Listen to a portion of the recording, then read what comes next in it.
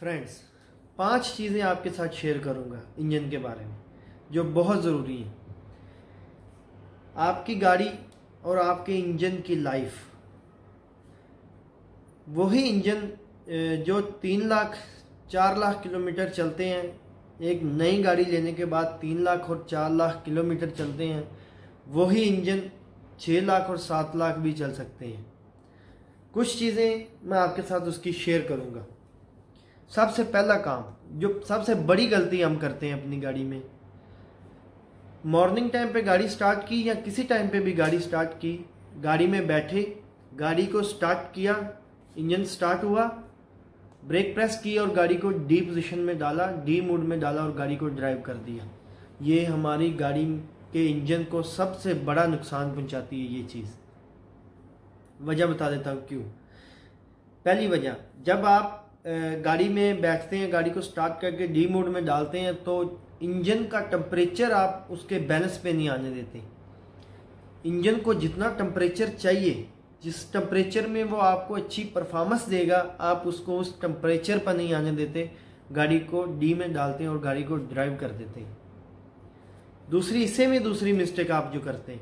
गाड़ी को ला के खड़ा किया, खड़ा करते ही आपने अग्निशन स्विच ऑफ़ किया और गाड़ी को बंद कर दिया। ये भी नहीं करते। इसको इसलिए नहीं करते कि जब स्टार्टिंग टाइम पे आपने इंजन को उसके नॉर्मल टेम्परेचर देने के बाद गाड़ी को ड्राइव किया, गाड़ी जब ड्राइव करके ला के वापस खड़ी की तो भी इंजन को नॉर्मल टेम्परेचर पर आने दें। गाड़ी को नॉर्मल दो या तीन मिनट स्टार्ट रखें। नॉर्मल दो मिनट तक आप गाड़ी को स्टार्ट रखें ताकि उसका जो टेम्परेचर इंजन का, वो अगेन नॉर्मल टेम्परेचर पर आ जाए। दूसरी चीज़ जो हम सबसे बड़ी मिस्टेक करते हैं वो मेंटेनेंस सबसे बड़ी चीज़ जो मसला हमारा, वो हम मेंटेनेंस में जो है ना, वो हमारा प्रॉब्लम आता है।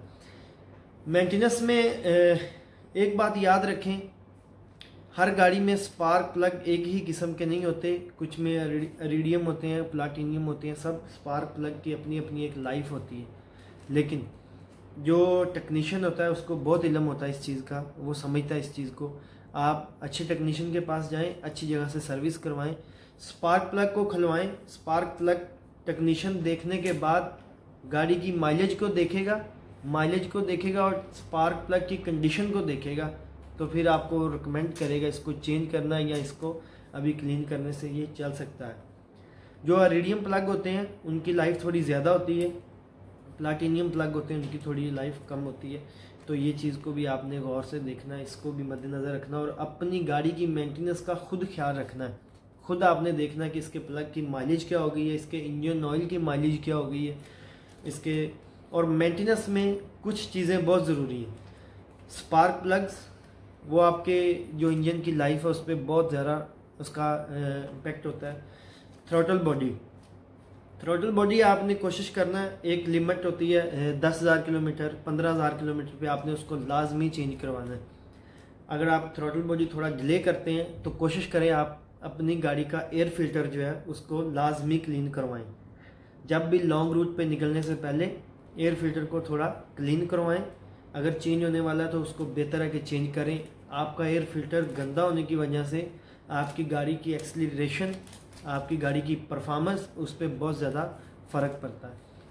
तीसरी बहुत इम्पोर्टेंट चीज़ जो हमें खुद इसका सोचना चाहिए और देखना चाहिए, इंजन ऑयल इंजन ऑयल को खुद देखना चाहिए। पहली चीज़, आप इंजन ऑयल में ये देखना कि आप किस जगह पे रहते हैं। आप अपनी जगह का, अपने जिस मुल्क में कंट्री में जिस, जहाँ भी रहते हैं, आप वहाँ का पहले वेदर को देखें कि वहाँ का वेदर कैसा है। वहाँ का वेदर के हिसाब से दूसरी चीज़, अपनी गाड़ी की माइलेज देखें। वेदर और माइलेज दोनों चीज़ देखने के बाद आप एक अच्छे टेक्नीशियन से अपनी गाड़ी के लिए अच्छा एक, जो ऑयल ग्रेड है, वो रिकमेंड करवाएँ कि गाड़ी की माइलेज और गाड़ी जहाँ पे आप रहते हैं, वहाँ का वेदर दोनों चीज़ों को देख कर आप गाड़ी की जो है वो ऑयल के रिकमेंडेशन करवाएँ और अच्छा ऑयल डलवाएँ, उससे आपकी गाड़ी में बहुत ज़्यादा फ़र्क पड़ता है।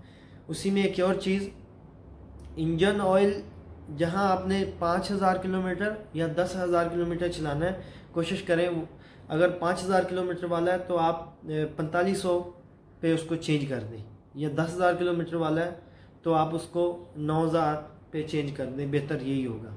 उसके एक छोटी सी एग्जांपल के साथ वीडियो थोड़ा लंबा होने हो रही है इस वजह से कि अभी आप किसी भी जगह पे खड़े हैं तो इंजन ऑयल तो आपके इंजन के अंदर है। गाड़ी खड़ी है, लेकिन इंजन स्टार्ट है। एसी वगैरह चल रहा है, सब कुछ एसेसरी चल रही है। तो इसलिए इंजन ऑयल इंजन के अंदर है तो इंजन तो स्टार्ट है, आप खड़े हैं। लेकिन गाड़ी चलती की माइलेज काउंट होती है। खड़ी गाड़ी की माइलेज काउंट नहीं होती। इसके बाद कूलेंट कूलेंट भी आप देखें, अगर आप कहते हैं कि कूलेंट हमारी गाड़ी को ठंडा रखता है तो ये बात तो गलत है। कूलेंट का फ़र्क होता है, पानी और कूलेंट पानी डालने से बहुत ज़्यादा रस्ट पैदा होती है अंदर ब्लॉकेज पैदा होती है। कूलेंट जो उसका बॉइलिंग पॉइंट भी ज़्यादा होता है, वो रस्ट को जमने नहीं देता और उसी में वो आपको जो इंजन है, उसको ठंडा रखने में थोड़ा उसका ये फ़र्क होता है कि वो कूलेंट जमता नहीं है। आप किसी ठंडे इलाके में तो कूलेंट जमेगा नहीं। चौथी चीज़, सॉरी, पांचवी चीज़। आपकी गाड़ी अगर मिसिंग कर रही है तो प्लीज़ गाड़ी को ड्राइव मत करें। अगर आपकी गाड़ी मिसिंग कर रही है तो गाड़ी को ड्राइव मत करें। आप किसी टेक्नीशियन को, किसी मैकेनिक को आपके पास है तो उसको बेहतर है चेक करवाएँ। ये इसको मिसिंग के अंदर गाड़ी को ड्राइव नहीं करना चाहिए।